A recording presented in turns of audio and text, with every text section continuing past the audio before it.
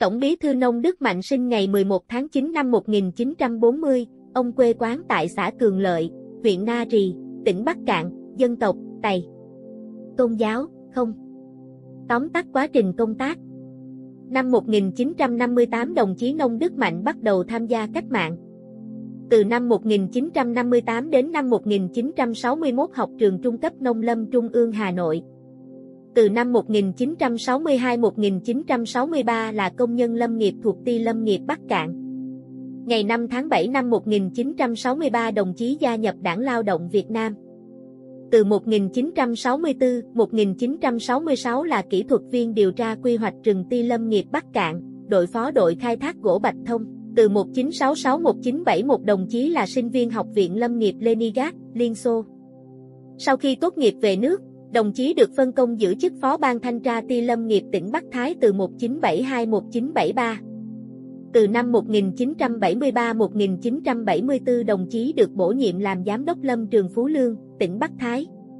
Từ 1974-1976 đồng chí là học viên trường đảng cao cấp Nguyễn Ái Quốc, nay là Học viện Chính trị, Hành chính Quốc gia Hồ Chí Minh.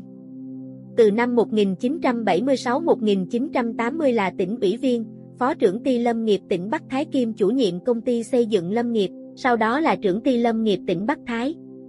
Từ năm 1980 đến năm 1983 được bầu là tỉnh ủy viên, phó chủ tịch Ủy ban Nhân dân tỉnh Bắc Thái. Từ năm 1984 đến tháng 10 năm 1986 đồng chí được bầu giữ chức phó bí thư tỉnh ủy, chủ tịch Ủy ban Nhân dân tỉnh Bắc Thái. Tháng 11 năm 1986, đồng chí là bí thư tỉnh ủy Bắc Thái.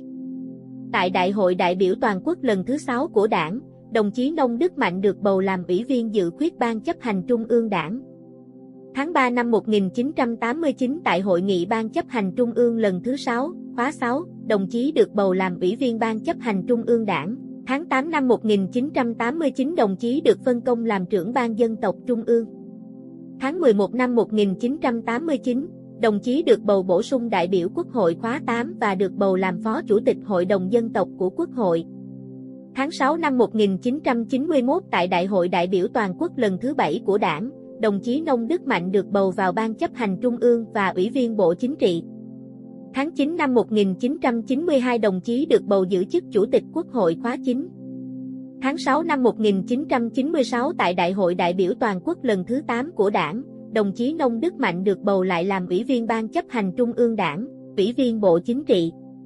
Tháng 9 năm 1997 đồng chí được bầu lại làm Chủ tịch Quốc hội khóa X. Tháng 1 năm 1998, đồng chí được bầu làm Ủy viên Thường vụ Bộ Chính trị.